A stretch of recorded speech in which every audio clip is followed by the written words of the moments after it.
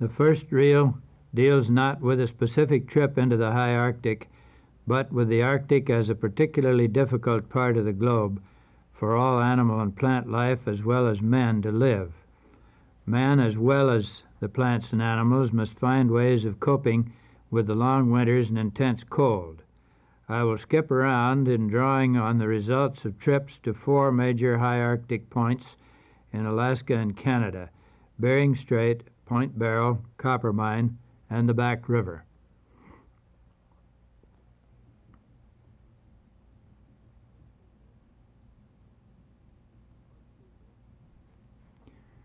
Most people, I think, uh, think of the high Arctic or the far, far north as being a very, very uncomfortable place to be, and uh, in a good many ways, this is true. The heavy winds and heavy seas, fog on Bering Strait, and of course, snow blowing and blizzard conditions are thought of as typifying the far north and especially tremendously deep snowbanks, which in certain local situations also uh, is true, but in the main, this is uh, by no means always the case in the far north. Also, you probably think about the untrustworthy, independable, unpredictable Eskimo dogs, which you never quite know whether you can make friends with or not used in traveling, of course, through the north, which is still true in local travel in a good many parts of the Arctic regions. However, a, an artist naturalist in the Arctic sees a great deal of beauty and interest from his standpoint the bright sunlight on the ice cakes in Bering Straits, and the plants, the flowers, really put on a show during the short spring uh, in the far Arctic. And almost anybody would enjoy the bright, colorful landscapes that one can see in the far Arctic if he's there at this particular season. We'll look into some of the birds of the area too, strange birds to us in the south, the Steller eider here, one of those peculiar acting Arctic birds which take the place of the mallards and teal that we see in the south. And the Bonaparte's gulls nesting in trees along the tree line, not on up into the far Arctic, of course, where the trees do not exist at all. The dense growth of the black spruce along the tree line have such heavy, solid limbs that the little chicks can creep around as though they were on the ground. The four points from which I'm going to draw the examples for the Arctic are the Bering Strait, the westernmost tip of Alaska, the northernmost tip of Alaska, Point Barrow, and farther to the east, the Coppermine area, mouth of the Coppermine River, and the Back River, which is northwest of Hudson's Bay, north of Chesterfield Inlet.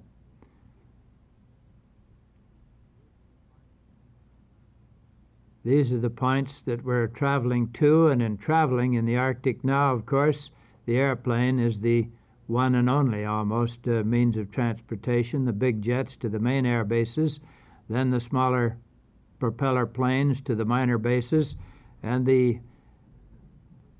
Norseman plane, which was a workhorse of the North for a good many years, the uh, Otter plane now taking the place of the Norseman, and in the wintertime, of course, smaller uh, ski planes are the planes used by the uh, bush, bush pilots to travel into the far distant points, the more remote parts of the Arctic. A gull winged Stinson plane in which we flew out to the tip of the Bering Strait Peninsula, the Seward Peninsula. In traveling in the Arctic at uh, not too high elevations, it gives one a a wonderful opportunity to study drainage patterns and the structure of the earth, particularly in the fall and in the spring when the ground is only partially covered with snow. The erosion patterns of the river system show up beautifully from the air. You get information from the air that you do not get while traveling on the ground. But if one wants to really get familiar with the area firsthand and close range, this means traveling on the surface. Over the mountain tops, here's a good example of a couple of mountain glaciers joining up, flowing down the mountain like rivers, but still they are simply masses of glacial ice. The braided stream pattern of the Coppermine River shows a typically young geologically uh, stream. Walking on foot is where you really get acquainted with the Arctic. This is up in the back river where they're, of course, well beyond the tree line, several hundred miles, uh, where the vegetation is very scant. You get more the impression of the prairies in the on Bering Strait. A good deal of our work was done out on the sea ice, where traveling here was a rather rough, rough going. Notice no skis are being used. The snow in the Arctic blows and drifts into such solid drifts that uh, snowshoes are hardly necessary. Even in the spring, when the snow begins to soften, these Eskimos are going along very casually, sinking well in above their knees almost in the snow just over this little rise. And again, you'll notice, even under these conditions, the Eskimos are not using snowshoes. Dog teams are still used in the Arctic extensively. This uh, group of dogs are being fed on seal meat by an Eskimo who has just returned to Nome on uh, a successful seal hunt. Dogs are tethered to keep them apart so they can be fed individually, keep from fighting, which is very often the case with the Arctic dogs. We found that uh, these animals were more friendly and less treacherous than we had anticipated they would be.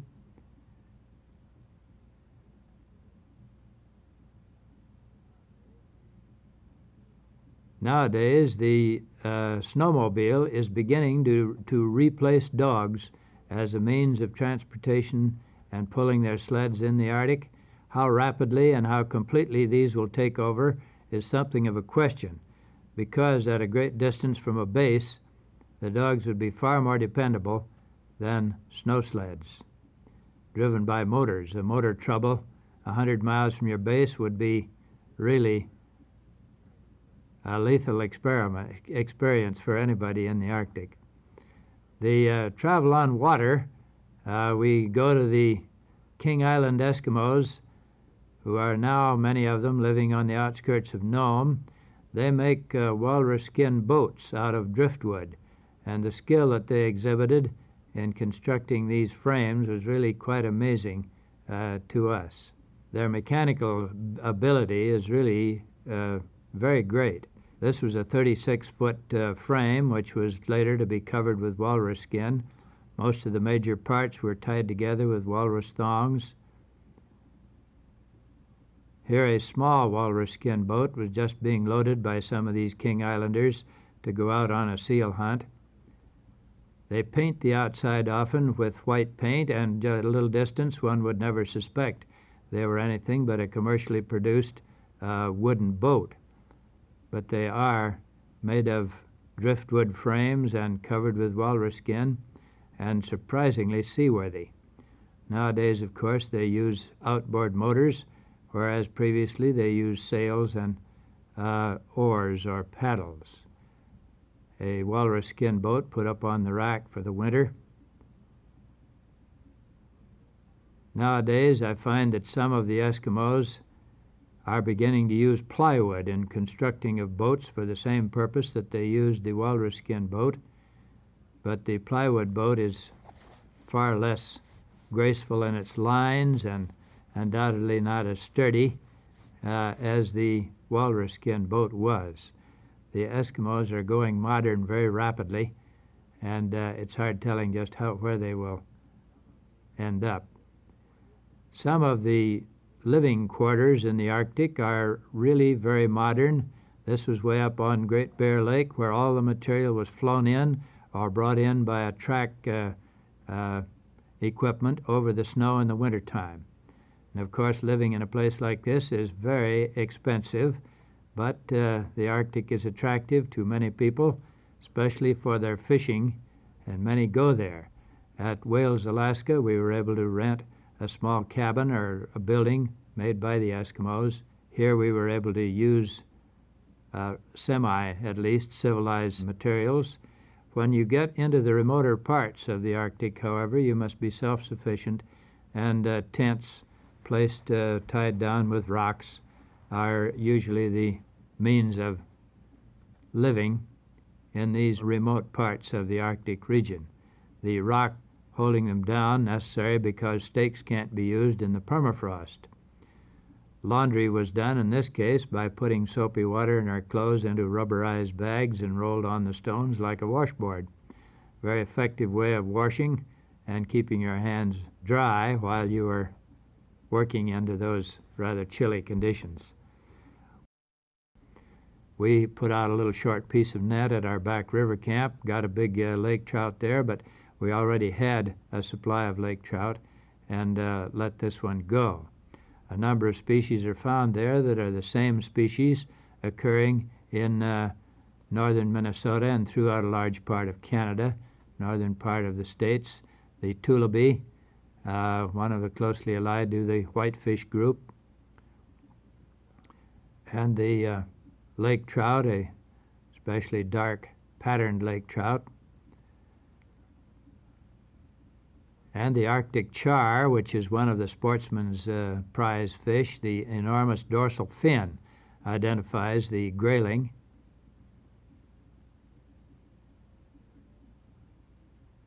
And the Arctic char is perhaps the fish that most of the dyed-in-the-wool fishermen go to the Arctic to catch. A salmon-like, closely related to the trout uh, family. And the sport of capturing these is really quite exciting. The uh, certain river systems have brightly colored trout or, or char, whereas other uh, nearby systems may have uh, much, much less brilliantly colored uh, char. This was the Tree River where the females were quite pale in their color, but uh, the males were just surprisingly brilliant. I, I really was amazed to find that these large trout-like char were almost as brilliant in color as uh, are some of the little tropical fish uh, which we admire so much in our aquariums.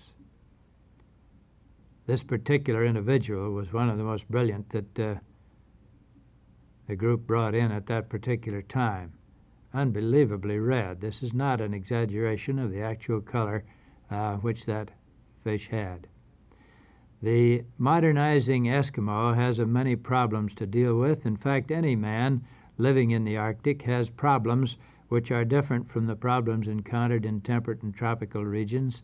One of these uh, problems is to deal with the disposition of sewage and the water supply.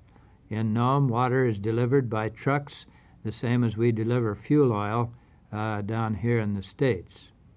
Uh, Nome has never had a system of water supply or sewers, but at the present time they are thawing out the permafrost down to about 12 feet, excavating trenches down the middle of the streets, and they are beginning to install uh, heated tunnels built of three inch redwood, where the water supply pipes and the sewage pipes uh, will be uh, installed.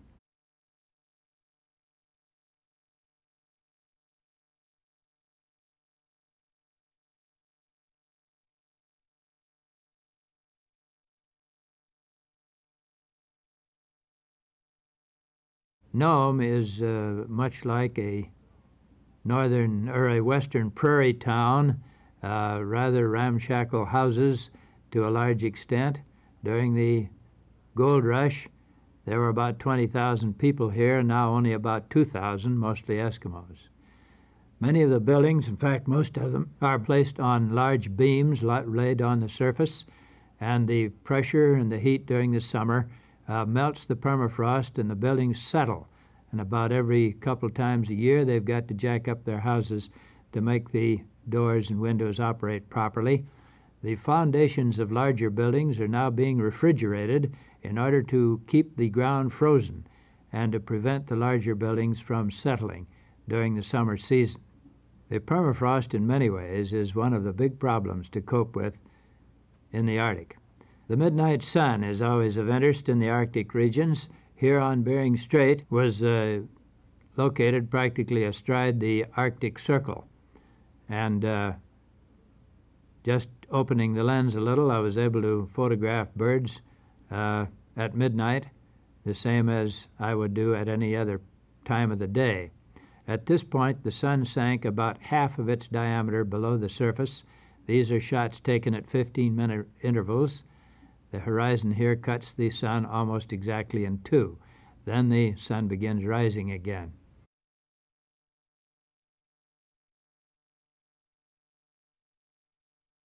Farther to the north, of course, you get a much higher sun. Here at Point Barrow, which is a number of degrees north of the Arctic Circle, the sun doesn't get down to but uh, within about five degrees of the horizon. Again, moves up. These again are shots taken at 15 minute intervals uh, to indicate the level of the midnight sun. So the evening and night are more or less like a sunset conditions that we experience here in the temperate zone. Again, opening up the lens a little, I took a picture of the hotel, which was in the outskirts of Barrow, uh, where we stayed the first night after dropping in there. Another problem of the Arctic is the insect life. Notice the head net, which uh, he has just lifted up off of his face in order to take a few shots of this ptarmigan, one of the very few very confiding birds of the Arctic regions. The mosquito is a very tiny insect, but an enormous problem in the north. And the abundance of mosquitoes uh, is almost unbelievable. They react, however, uh, to chemical repellents, and it is not too difficult to, at least to exist. These are not burrs, but uh, mosquitoes, and on this hat gives you some idea of the abundance of mosquitoes. In fact, this same man slapped his knee uh, at one time and killed 66 mosquitoes with one slap. My notebook in the Arctic uh, perhaps looks a little different from the average Arctic traveler, since I was interested in the collecting of birds and the taking of color notes of the fleshy parts of some of the birds which we encountered the puffins, and uh, here a young Arctic fox uh, which was trapped. This is the Arctic fox, which turns pure white in the wintertime, but uh, is a smoky gray and uh, light pattern during the summer. The Peary's or Arctic ground squirrel, very much like the prairie dog of the south. The ptarmigan chicks, developing their wings rapidly. And the shorebirds, a number of the tiny young shorebirds we knew little about, and I was anxious to get uh, color sketches of the day old chicks of these. And later, using the notes that taken in the field, I made paintings of the situation, particularly here with the king eiders migrating over the sea ice.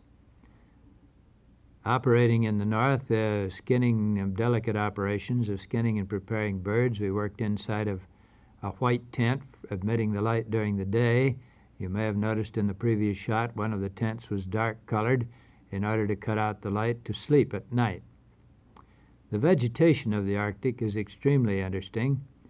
Uh, you would think maybe there was none here, but it is very tiny.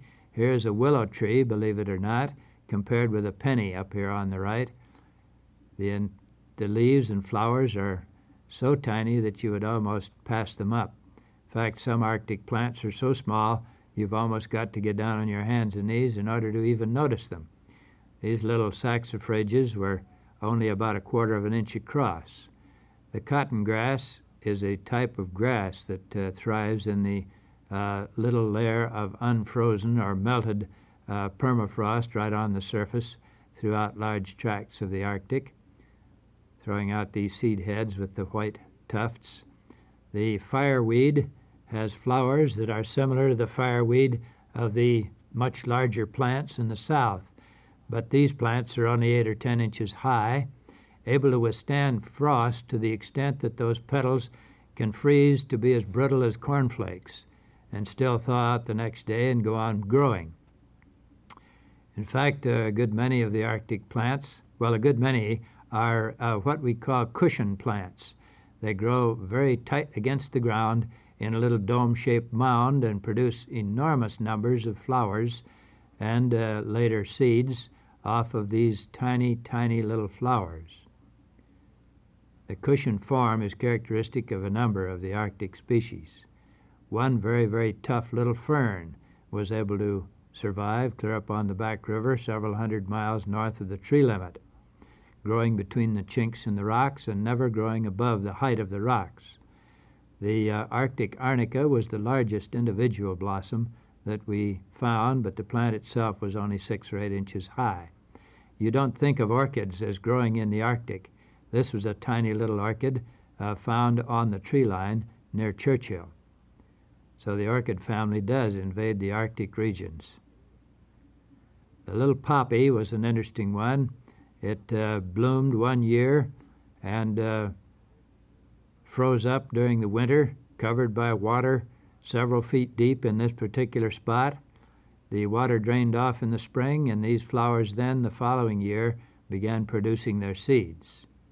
The little uh, Arctic heather was a species, looked almost like uh, lilies of the valley, but it was a species of plant that could be burned without drying. It had enough resin in the leaves that you could actually use it as a fuel, although one did have to kind of keep blowing on it and feeding it in a little at a time in order to heat a little bit of your food uh, while you are working.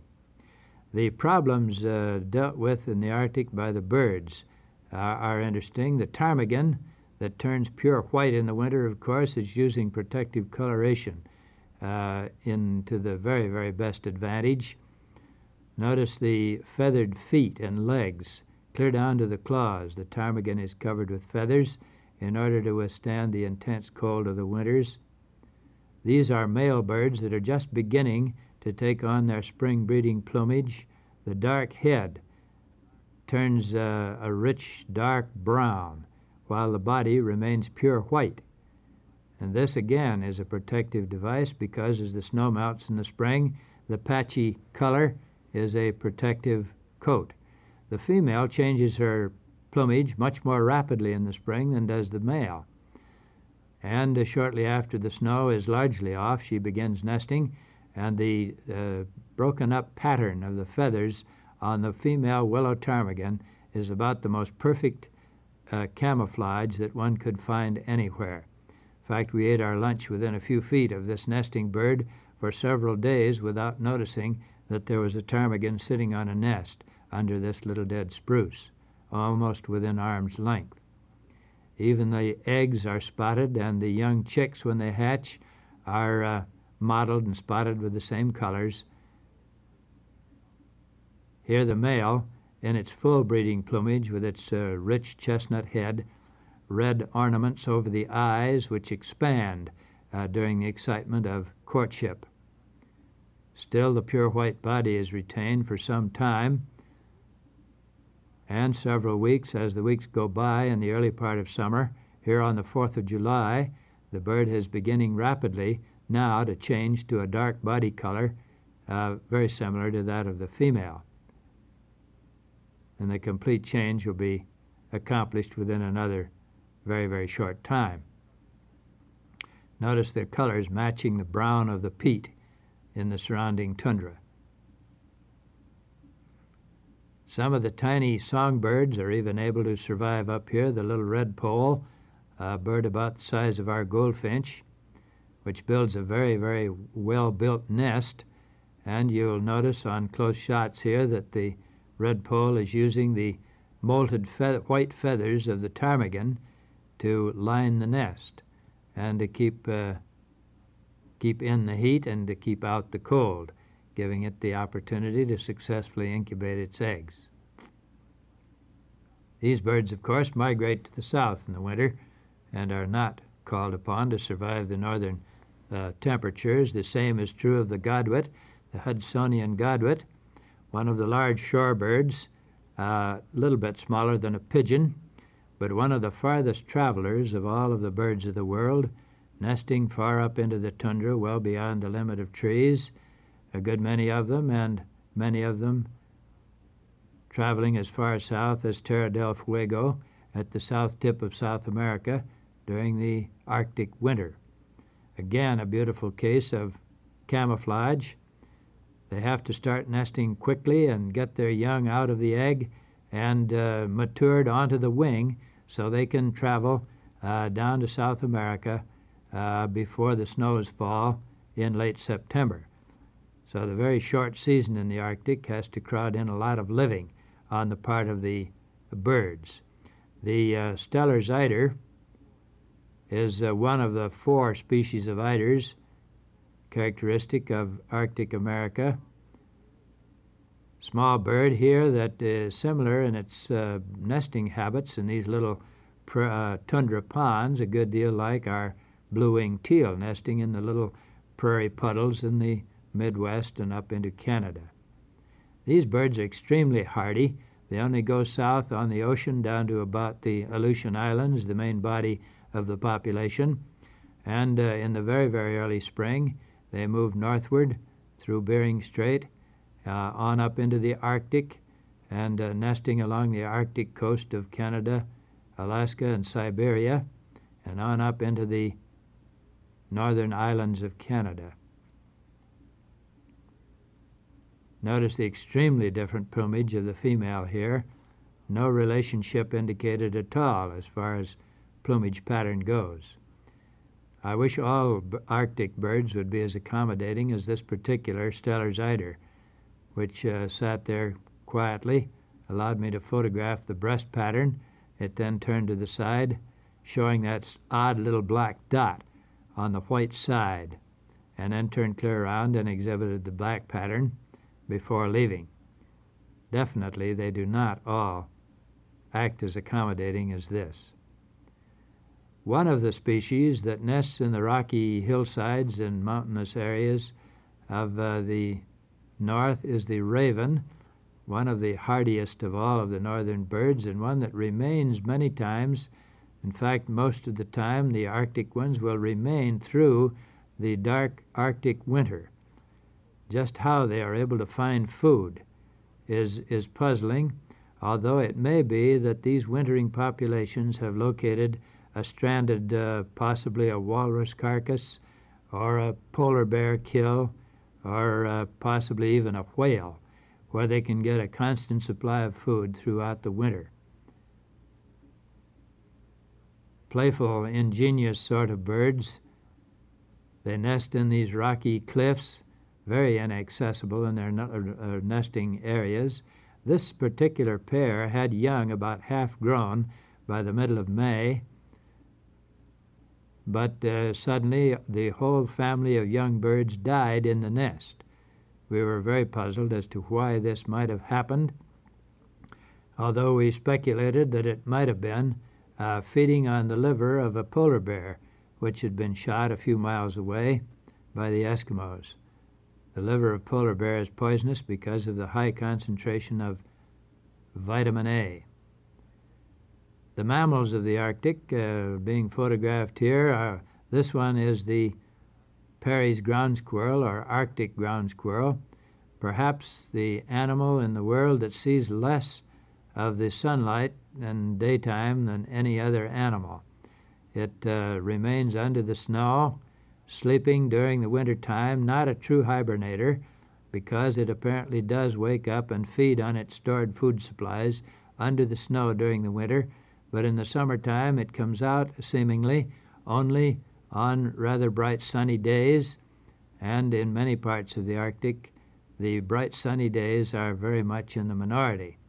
So even during the approximately three months of the summer, uh, these little fellows remain underground do not expose themselves uh, above ground. Here they're feeding on the little Arctic avens or dryas, the leaves, and also the flowers, providing food for the little Peary's ground squirrel.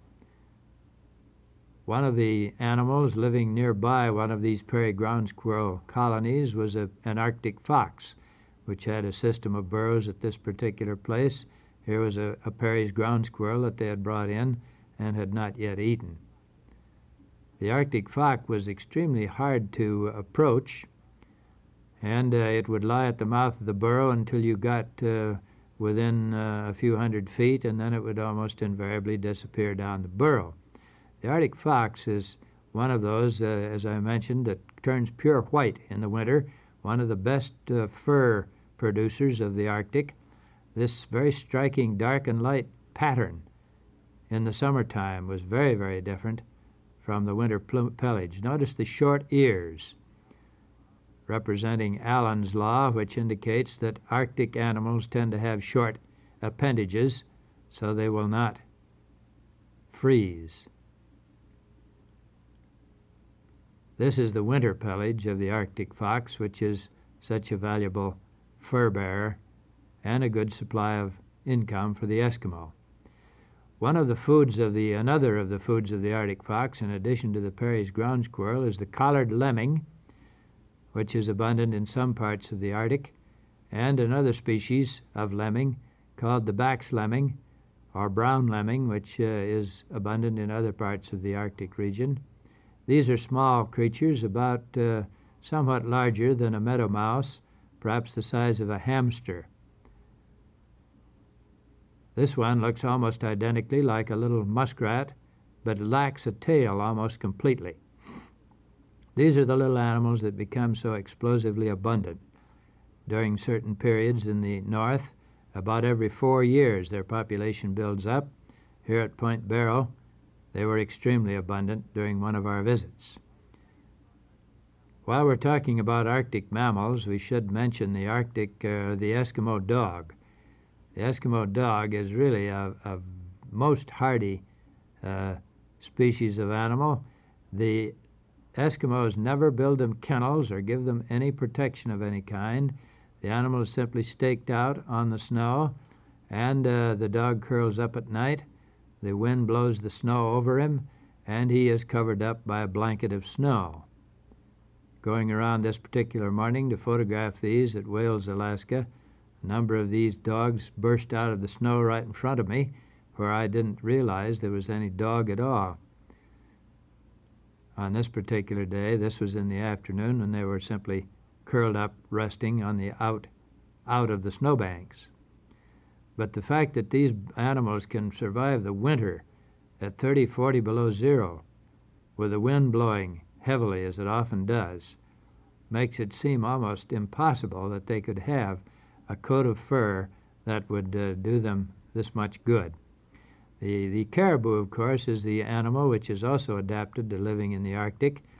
It has a, a dense uh, coat of hair, hollow tubular hairs, which uh, provide the Eskimo with his most perfect clothing, yet devised by man for surviving the Arctic. The caribou has a wide cloven hoof which spreads out, enabling it to walk on top of the snow and of course, as I mentioned, this Arctic snow is rather hard drifted and uh, they do not sink in like the moose and the deer do down in the forested parts of North America, but the caribou are able to walk right on the surface of most of this uh, hard drifted and hard packed snow. Caribou comes, of course, in, in tremendous herds often, and uh, this is one of the major sources of of a living for what is called the Arctic, uh, the caribou Eskimo. The polar bear, of course, is another adapted to the north, and uh, again, living under conditions that seem absolutely impossible. They live among the floating ice cakes and uh, swim in the cold, chilly water. Uh, part of the time, their hair and their fur is so beautifully adapted to resisting water and to retaining heat uh, that the polar bear seems to be perfectly adapted to uh, the Arctic or polar survival. This is one step away from the seals, of course, and the other types of mammals which are permanently aquatic, but which we will not uh, deal with in this particular film. Turning to the Eskimo himself, he's a very resourceful person. In fact, perhaps the most independent and self reliant people in the world. We dropped in here on the Back River to visit this group of Eskimos, some of which uh, very possibly uh, have never been into uh, white man's civilized uh, trading posts at all.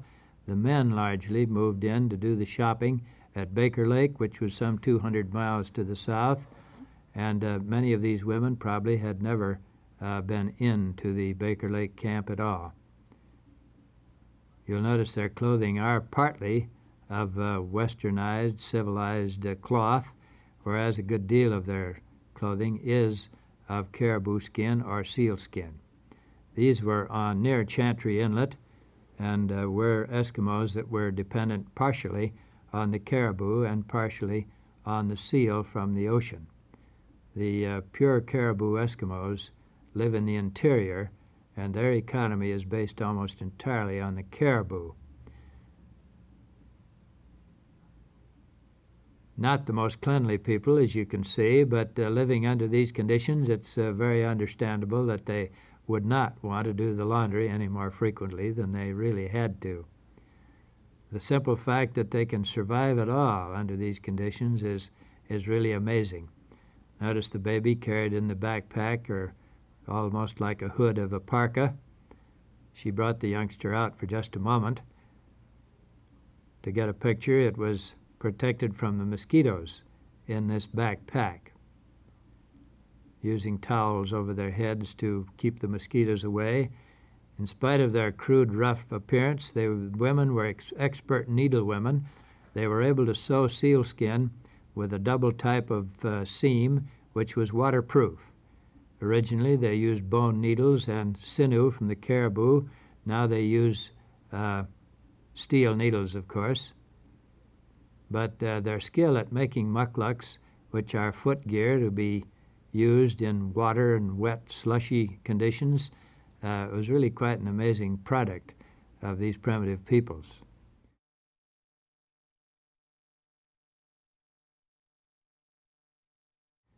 All of the Eskimos have their dogs always tethered out, keep them from escaping, and also to keep them from fighting. Variable in color all the way from black to white.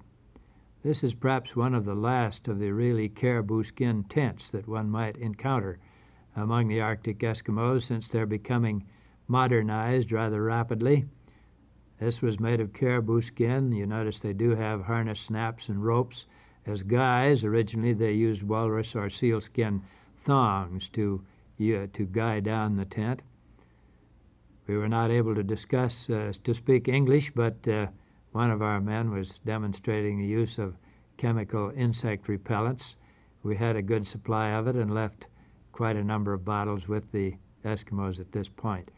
A white Arctic wolf skin that uh, one of the hunters had brought in fact, this was one of the most skillful of the hunters of this particular uh, colony of Eskimos living on the Back River. Looks like a bronze carving. Probably the oldest of all of the Eskimos of the Back River area. I believe, talking with the Hudson Bay man, that he was perhaps in his 60s. Our bush pilot was trying to use a little dictionary and converse with these Eskimos who seemed to know no English we wanted to tell them that we had left a lot of material cached for them 25 miles upstream and that they could have it uh, when they went up there the next time. Uh, farther up the back, some 75 miles, at uh, Escape Rapids, we encountered another group of Eskimos, a small family, which probably were as self reliant and independent uh, as anybody that you could find anywhere on the globe and how they can survive under these conditions, it really is amazing. They were fishing in this rapids uh, for uh, Arctic char. Looking at them individually, we could see readily that uh, the, the mongoloid characteristics of the facial expressions, although some of them did appear to be uh, at least partially uh, half breeds, the slanting eyes and the high cheekbones appear in. However, this uh, girl could probably walk down any American street and would never be uh, looked at twice as suggesting any mongoloid characteristics in her features. These people visited Baker Lake only once a year, which was over 200 miles away, going in there with their dog teams,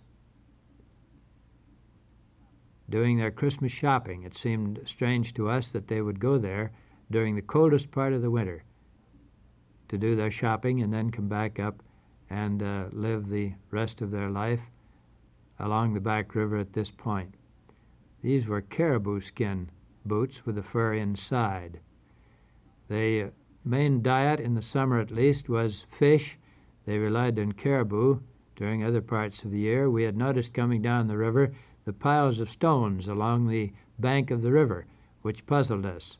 And we found later that these were simply piles of stones put up uh, to support the leather thongs or ropes on which they dried their fish. The fish was uh, simply split, folded back over the cord, and allowed to dry, used for their own food as well as supplying food uh, for their dogs. And again, their major means of transportation, and of course, a very valuable item of possession among the Eskimos was their dogs, again, extremely variable in their color and characteristics.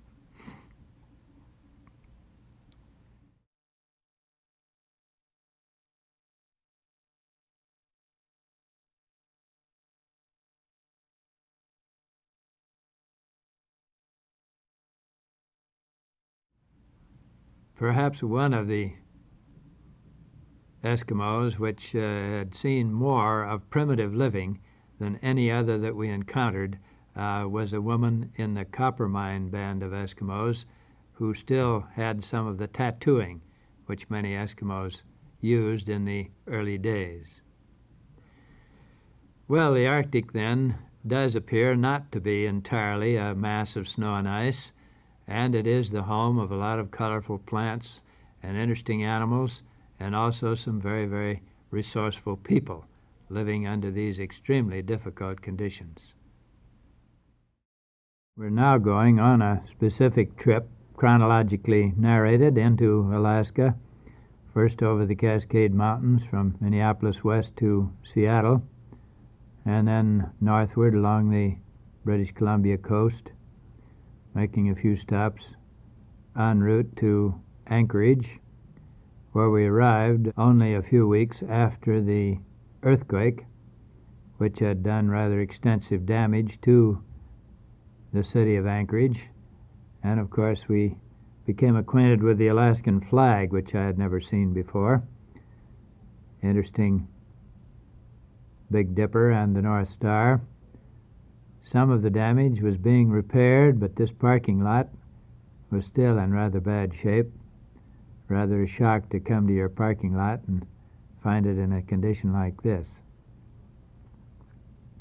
The uh, fault line of the causing the earthquake went diagonally through the business part of town and on through the city. On the right, a good deal of excavating and cleaning up had been already carried out.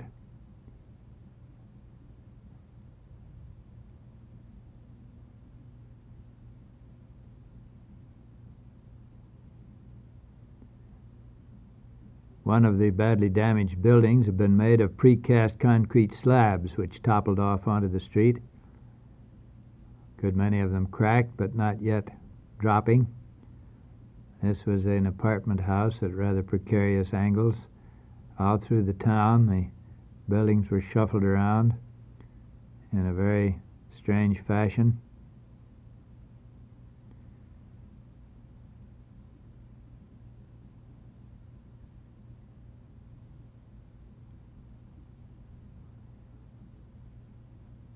One of the buildings, this uh, unintentional split level apartment building, had a sign pasted on the window that read, We knew it was hard to make a living here, but we didn't think we'd go in the hole like this.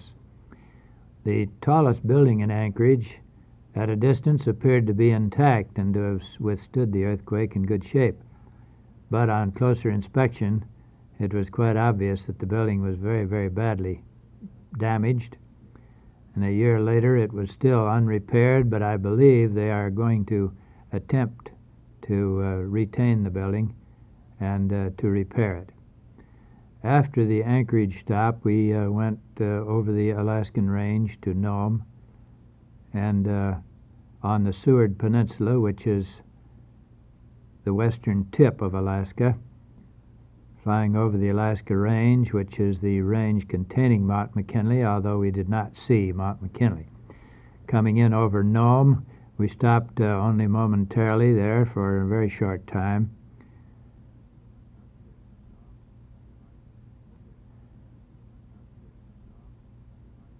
On the outskirts of Nome is one of the largest gold dredges in the world, but inactive at the present time because of uh, wages for the men to operate the dredge makes it unproductive economically, although there is a tremendous amount of gold yet to be taken out of the gravel in that area. Bubble gum, westernized civilization coming in with the primitive here. I presume this is a babysitter, although I wasn't really sure. Enjoying themselves down along the beach like so many of us do in the summertime. But the summertime here was pretty chilly. Even at that, the youngster isn't too heavily clothed. Being an ornithologist, I was much interested in the number of Jaegers chasing the gulls, causing them to drop their prey. The Jaeger is a gull like bird with the habits of a hawk, predatory bird, living on lemmings and small birds.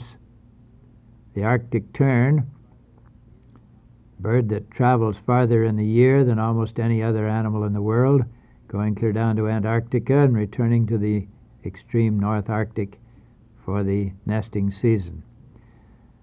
From Nome, we went by bush pilot across another range of mountains over to Wales, Alaska, a tiny little Eskimo village right out on the very, very western tip of the Seward Peninsula opposite Siberia. This was in early May, but uh, it looked like uh, January or February certainly like January or February down here, and not like we think of as a May day. Practically the whole population of Eskimos from Wales were out to meet the plane, as they always do. Planes do not fly on schedule there, but they simply fly when the weather is adequate and when there is a need for flying to the village. The youngsters are always curious and friendly, well clothed. Notice the uh, wolverine skin uh, fur around some of the parkas, a red fox on one, I noticed. They were very curious about us. We were collecting specimens and photographing birds, and they had a strong suspicion we were game enforcement agents. A very bashful little lass.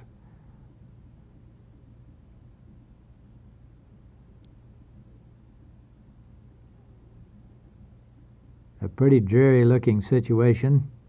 The town was not, the houses were not built on a street, they were zigzagged, and anywhere the person apparently wished to build a house. Here was the main store, the Wales Village store, and uh, Pete Saradlik, uh, one of the Eskimos who had put up a battery run electric plant in his home and had a telephone line to his brother's house at the other end of the village. The youngsters played baseball of some sort out on the ice until 11 or 12 o'clock at night. Up on uh, Wales Mountain, just back of the village, was an ancient cemetery, which was of considerable interest to us. In the notch in the skyline there, they were not able to bury their dead, so they put the dead in caskets uh, made of driftwood and uh, simply put them on top of the mountain here, laid stones on them. The caskets disintegrated. Many of the belongings and prizes of the people were put with their uh, graves. There was a group of polar bear skulls. Apparently, this particular man uh, had been a very good hunter, and uh, the skulls of some of his polar bear prizes had been brought in a human skull with a polar bear jaw. Apparently, after the caskets disintegrate, the polar bears and timber wolves and foxes disturbed things considerably. What appear to be wooden poles here, many of them are whale ribs or whale jawbones. Some of them are wood and apparently uh, parts of boats or masts of ships uh, or small boats that the Eskimos had owned. They do not use this cemetery anymore. They haven't used it for a number of years. They uh, now attempt to bury their dead in the sandbar down near the ocean. The shoulder blade of a whale, apparently a choice trophy of one of the Eskimos, and some of the very gruesome sights reminded one of Halloween decorations, but this was the real thing.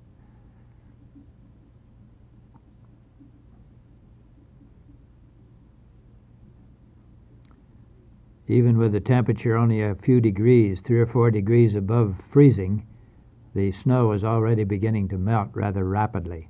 We had only been there a few days when some Eskimos arrived by boat from the Diomede Islands. They had been running out of food in their little store and had come over to Wales to get some supplies. On the left was a biologist uh, here who had been studying the walrus populations on in Bering Strait. This uh, crew of Eskimos had been hunting walrus on the way over, and they had a large pile of heads and tusks of, es- of uh, walrus that they'd taken. Diomede Islands are midway between Alaska and Siberia. This was the home of this particular group of Eskimos, of which there are about 75 that still live on the Little Diomede Island, which belongs to uh, the United States to Alaska, whereas the Big Diomede is uh, Russian. This was about a 32 foot walrus skin boat made of driftwood and covered with walrus skin. A very seaworthy little, little boat, and of course one that had to have a fairly sizable crew to manage it. It was quite heavy, but really uh, most remarkably seaworthy. They said they did not go on any sort of a schedule, and if we went with them, we'd have to take our chances on when we would get back. We uh, assumed that it would be within uh, a number of days or certainly weeks, and so we took the chance and went with them, uh, hoping to get back when they would go walrus hunting again. There was open water for some miles. It was about 27 miles out to the Little Diomede Island, and there navigating ability was really amazing. They had a large compass screwed to one of the seats, and they had wristwatches, and this was their complete navigating equipment. As soon as they began encountering uh, uh, cakes of ice floating about, they began looking for walrus. Here was a small part, a group of walrus. They cruised up very slowly, directly at them. Their eyesight is not very good. At about 50 yards or a little less, they began shooting and they had to shoot them in the ear, back of the head, in order to kill a walrus. And of this group of about a half a dozen, they killed only one. One of the young bulls, which they feared, uh, came up within only six or eight feet of the boat, and they shouted over at us to push them away with the oar, which we weren't too anxious to do, but they did not come up and do any damage to the boat. They simply uh, hopped off on the ice cake, cut off the head containing the tusks, tossed the head into the boat, and left the carcass there. They do not make use of any part of the carcass except in a very limited number of them, uh, which they use for food and when they need walrus skin for a boat cover. They're navigating on to uh, the island, uh, really amazed us, and they hit the island right in the middle Our first view of the island was a very, very foggy uh, look at the rocky cliffs with the ice and snow filling the little uh, gullies eroded into the rocky surface. They cruised around the edge of the island. The island is only about two miles long. There is no level ground on the Little Diomede Island except at the top, which is something uh, 2,000 feet high. So the village where the Eskimos live was built on the sloping side of the rock cliff.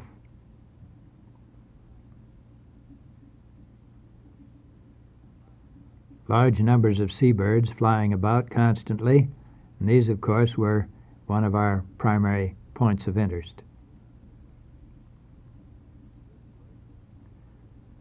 Driftwood was uh, part of the material seen here, although some of the tall poles standing up were actually whale ribs and whale jawbones. The constant gasoline barrels, which are an insignia of the Arctic these days. Many of the houses have been built of a rather primitive way with driftwood. Some had been shipped in. Here was the modern school building. Here, one of the walrus skin boats pulled up on the rocky shore, and a youngster shooting birds with a sling. The only time that I've ever seen that type of a sling used uh, really in a practical way. The type of sling that David was supposed to have killed Goliath with. He really was pretty good, had lots of ammunition. A day or two later, he had struck a young gull in a particular plumage we were interested in, and I bought the gull from him, and it's now in our collection. The vegetation on Little Diomede, of course, uh, contains no trees whatsoever, very tiny uh, plant life. The plants grow out from the little bit of soil between the rocks. Creeping out over the rocks, you can peel up the vegetation uh, like lifting up a rug. And it looks not unlike the fiber pads that are often used under rugs. Looking out over the icy channel between the Big and Little Diomede, we can see the low-hanging clouds here covering most of the Big Diomede Island, which uh, is Russian possession.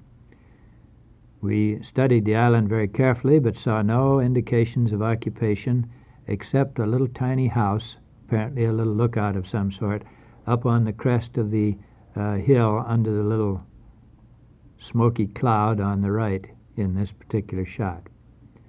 Apparently, all of the Russian installations, of which there are several, are on the far side of the island, and the Little Diomede Eskimos are not able to check what is going on. From the top of Little Diomede, you can look over the Big Diomede and see the Siberian coast in the distance, which is roughly 25 to 30 miles away. The uh, coast is roughly 60 miles across, the strait is roughly 60 miles across at this point.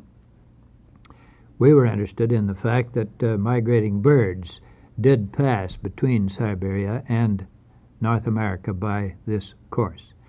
Some of the more primitive houses uh, were built of stone, entered by a long tunnel like the entrance to an igloo, but the houses were built of uh, driftwood, and surprisingly enough, they had no windows.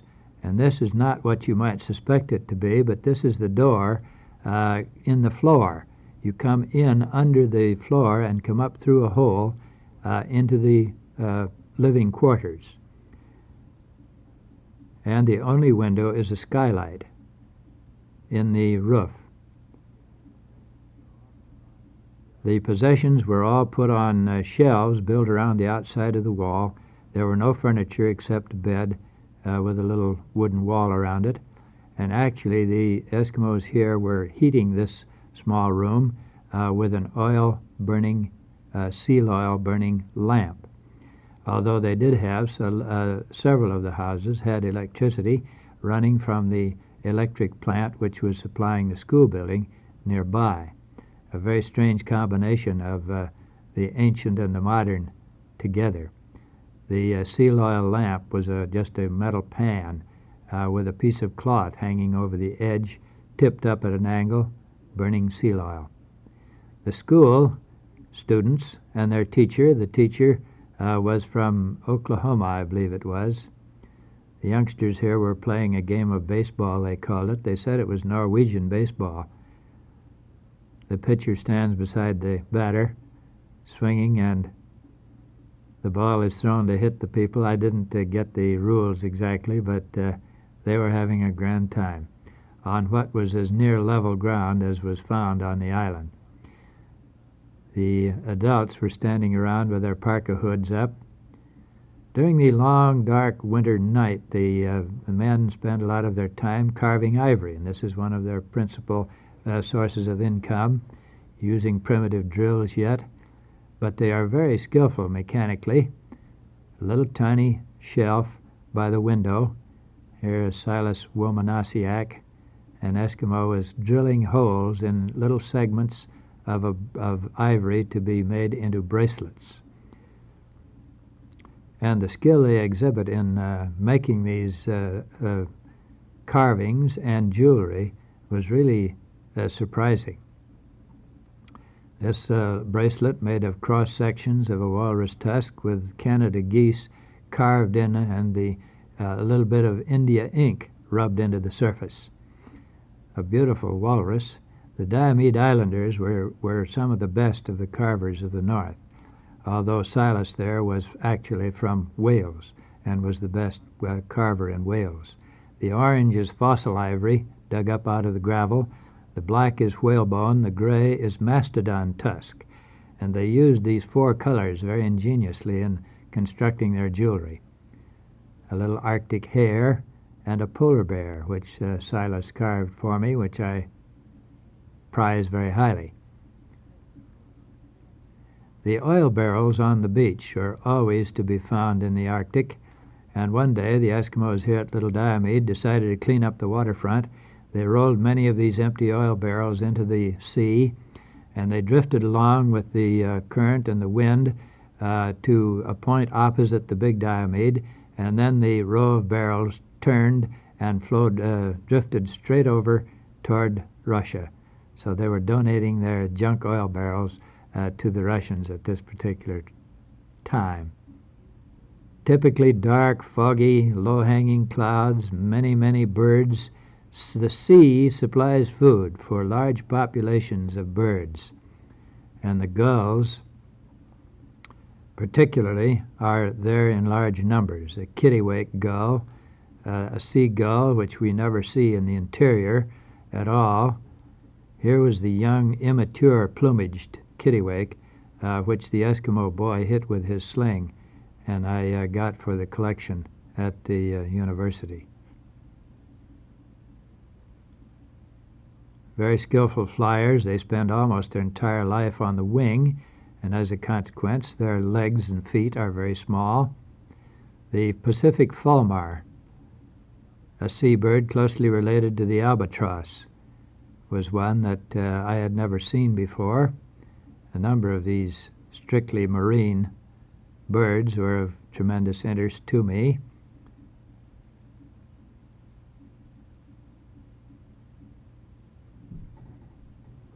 The big white patches on the wings identified the fulmars rather readily. These bright orange-billed little birds were crested auklets. The auklet population ran way up into the tens of thousands. This was a bird with a body about the size of a blue-winged teal and a species which the Eskimos used as a significant part of their food. The little least auklet was only six or eight inches long but having almost no tail, it did have a body about the size of a robin or a little bit larger, although they were too small for the Eskimos to be considering as food. The birds, in spite of the 24 hours of daylight, ran on a schedule, leaving uh, very early in the morning to go out to sea to feed, and if one went up on the mountainside during the morning, you could not find a single auklet. During the afternoon hours, they began coming in, and late in the afternoon, there would be thousands and thousands of these little auklets. Notice the white iris. All of the auklets seem to have white irids. I don't know why that is.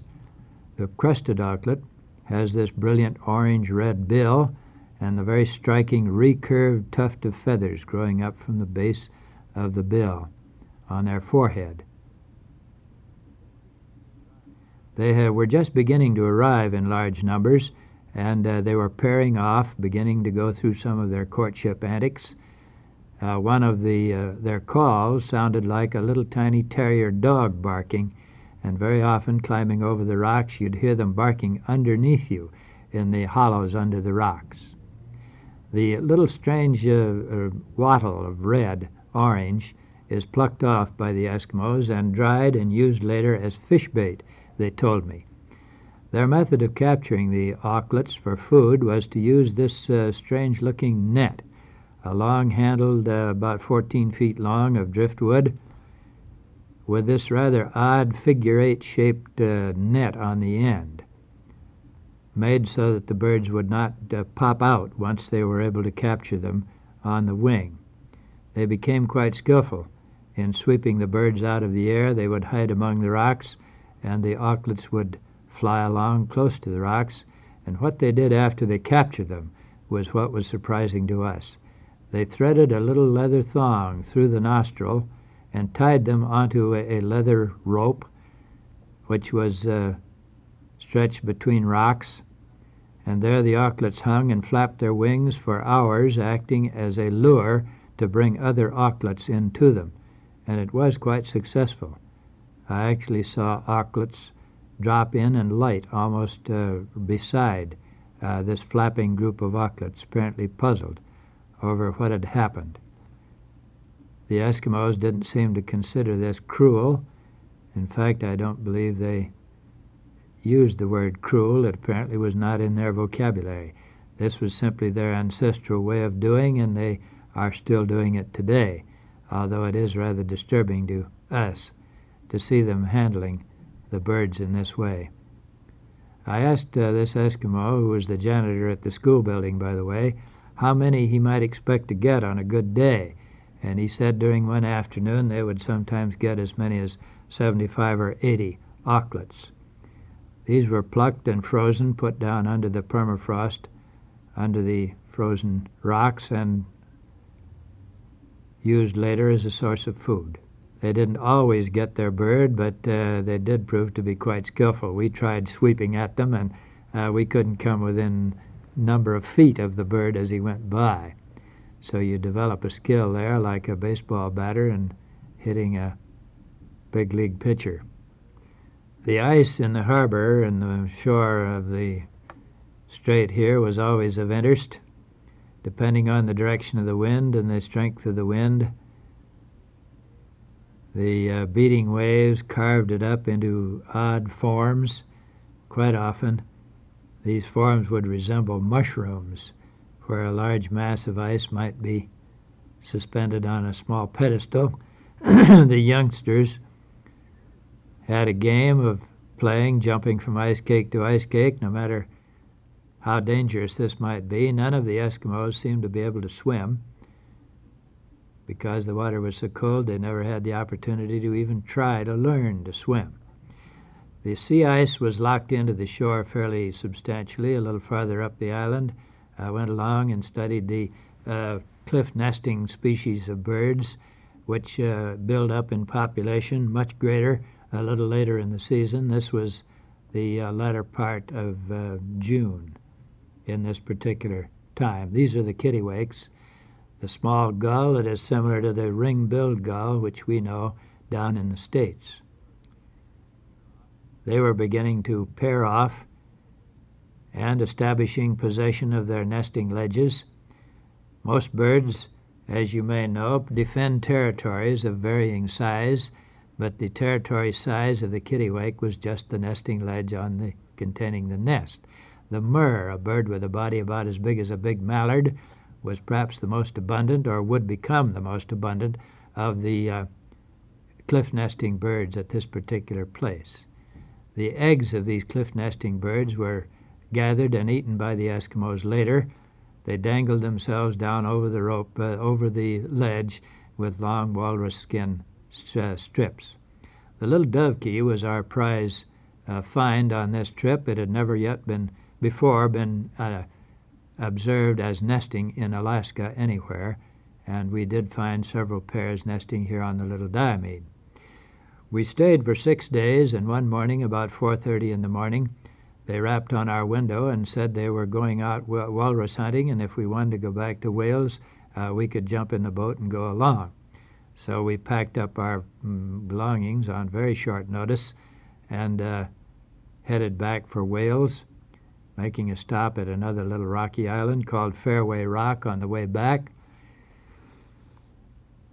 My companion got a lot of interesting stories from the storekeeper, who was the captain of the boat, Andrew. I did not get his Eskimo name.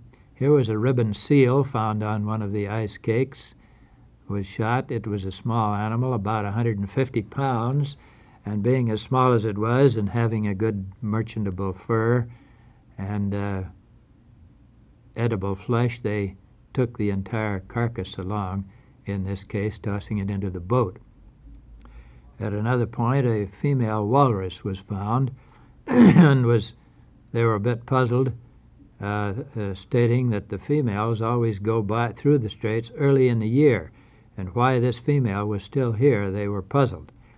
They had intended taking the flippers of this particular one for food, uh, but uh, they talked it over and decided that since this was late in the season, uh, there must be something wrong with this animal so they simply cut the head off, taking the, the tusks and uh, leaving the rest of the carcass.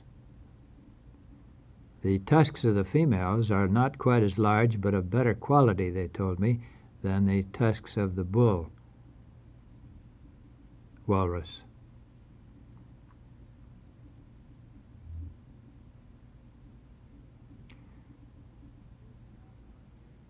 Cruised around among the ice cakes for some time looking for more walrus, but then uh, decided to cut across the open water over to Wales, and then some of the Eskimos took that opportunity to, to doze off and take a little nap.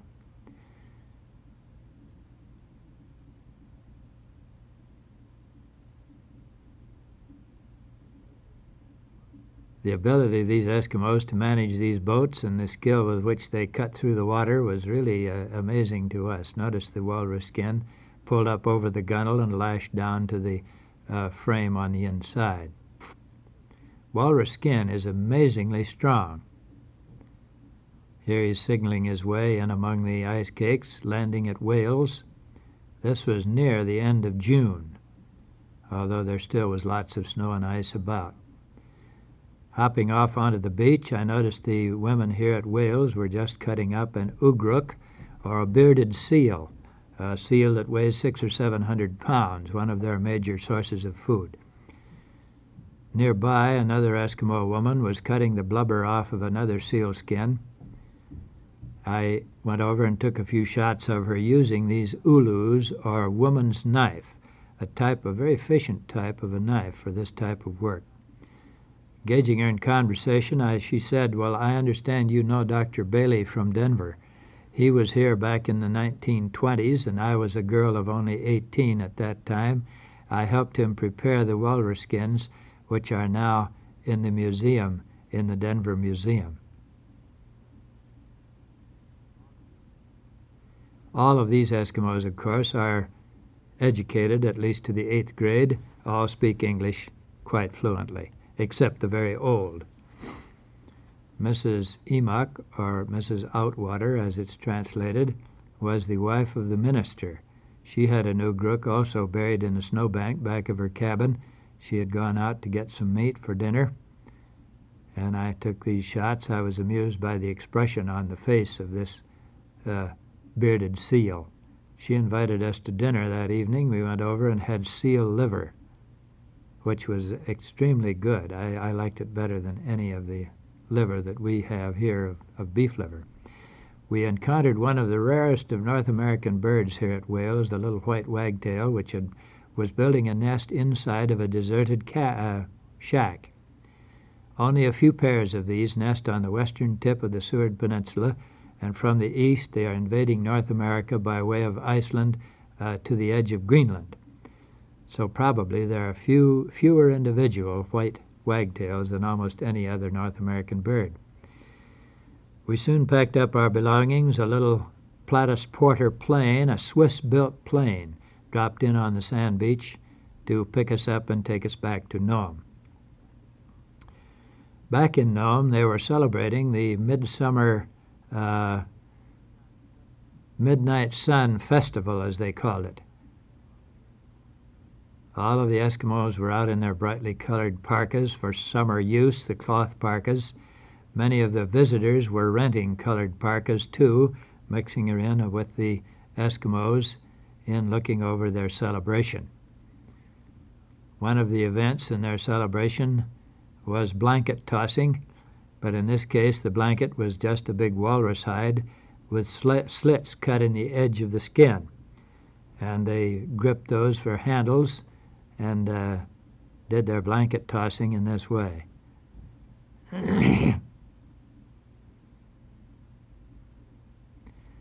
Another one of the events of the Midnight Sun Festival was a raft race out on Nome River. Practically all the cars owned in Nome were out there about seven miles out from town. The raft race was two miles down the Nome River. The raft regulations were that it must be built of anything except a bona fide boat, and they built them all. Out, they built them out of everything except, uh, including oil barrels, Hilux bottles, and beer cans, anything that would float.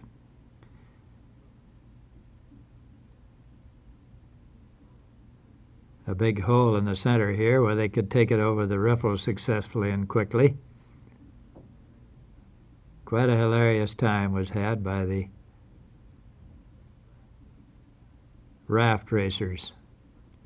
Nearby, the vice president of the bank had his wilderness retreat, not a very romantic looking place since there was no timber, uh, but there was very good fishing here on the Nome River. On the way back, we stopped and uh, the caretaker of some property there that was being held by a company for gold production later panned one pan of gold just for our amusement. And in just about 10 or 15 minutes, he panned out what he said was between two and three dollars worth of gold.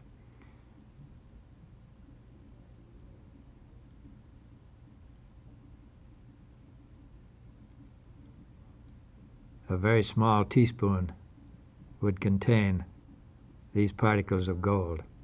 Well, we hopped on up to Kotzebue uh, stopped there for a day or two, and then on up the northwest coast of Alaska uh, by commercial airline in this case, on up to Point Barrow. We landed at the village of Barrow about 10:30 at night, and uh, since it was approaching,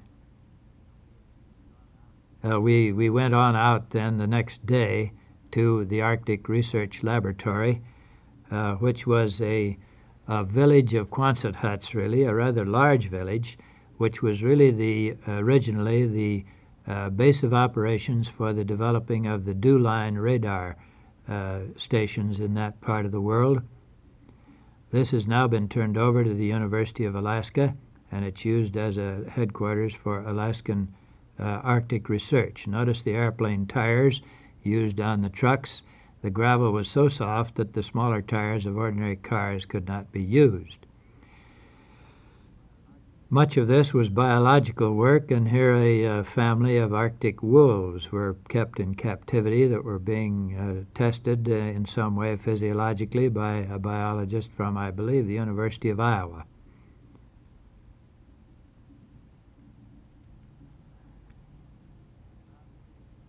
I found that a friend of mine from some years back, Dr. Pitelka from the University of California, was there studying the wildlife of the region. His personal transportation was this little track vehicle, uh, which took him out over the tundra. Fortunately for us, the lemmings were at a high in their population, and the ground that was being uncovered as the snowbanks melted away was uh, literally perforated and intersected in every direction by the tunnels of the little lemmings.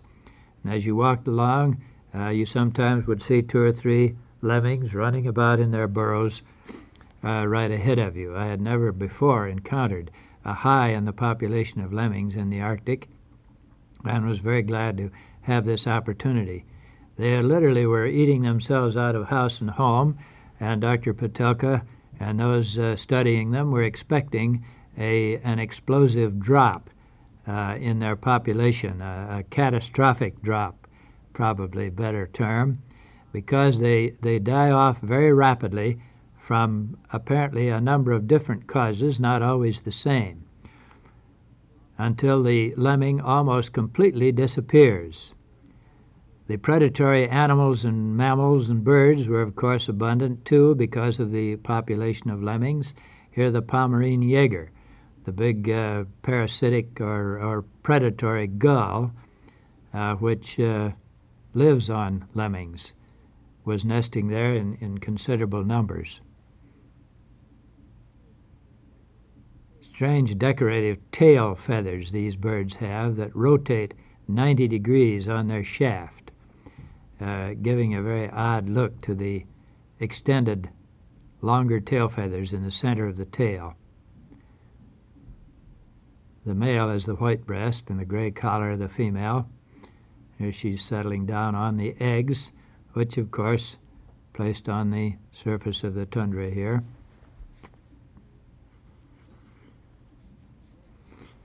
The Jaegers very often appear in a melanistic form, uh, superabundance of black pigment.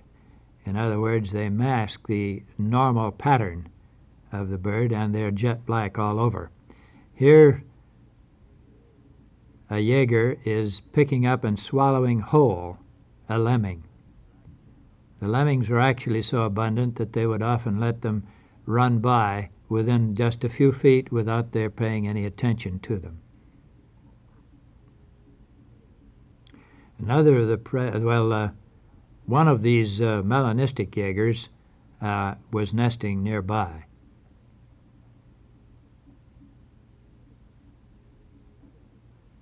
Another of the predators that was quite abundant was the snowy owl. Again, I had never seen the snowy owl in the Arctic, and here, because of the abundance of lemmings, there were quite a number of them nesting on these little hummocks in the tundra. Dr. Pitelka checking over the young in the nest. They start incubating the minute the first egg is laid, resulting in varied sizes of the young in the nest.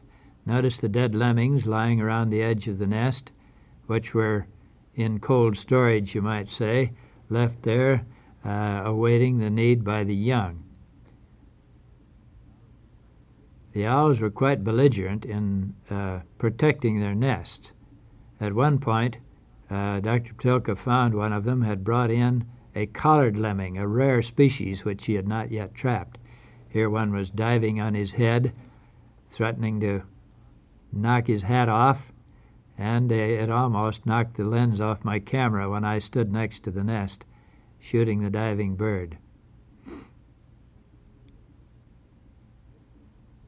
This was the particular snowy owl nest that interested Dr. Tilka because of this collared lemming uh, having been brought in. Collared at Point Barrow is quite rare.